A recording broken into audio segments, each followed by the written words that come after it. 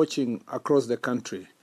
Unfortunately, to start with, uh, a person who has never, who does not have the capacity and the ability to preside that function as an MC was chosen without an explanation to anybody in this country. And an opportunity was granted to my friend uh, Junet.